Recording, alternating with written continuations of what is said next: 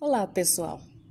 O nosso vídeo de hoje é um vídeo muito importante para mim porque traz à memória a pessoa muito importante da minha vida, a pessoa da minha mãe. Ela cultivava a hortênsia e hoje eu convido vocês a acompanhar comigo o plantio da estaca de uma hortênsia. Vamos comigo?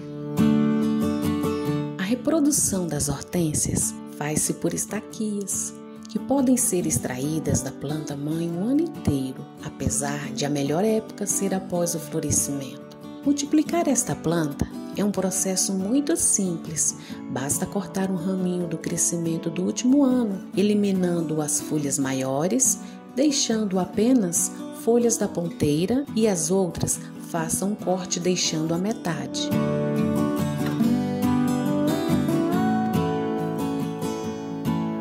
Faça o corte no caule exatamente acima de um nó.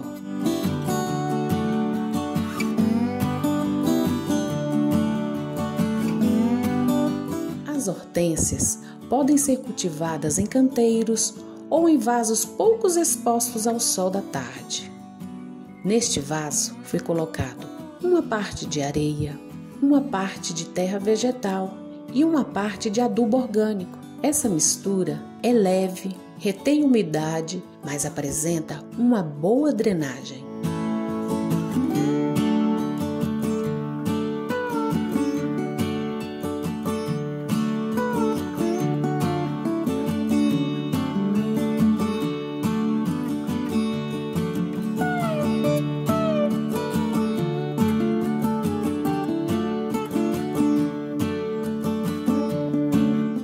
Vamos agora ao plantio da estaca, enterrando até que a parte mais escura fique toda submersa no substrato e a parte, que é o verde mais claro, que é a parte mais nova da planta, fique para fora.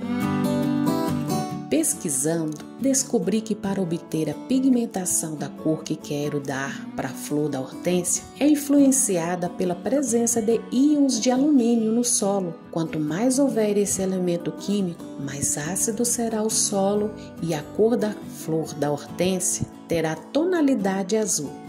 Há, porém, outra receita específica para que as hortênsias produzam flores nessa tonalidade. Neste caso, borra de café ou a água da palha de aço, por conter alumínio, deixam o solo mais ácido. Regue a hortênsia com essa água uma vez por semana. Agora é aguardar a estaca brotar e vir os lindos buquês azuis.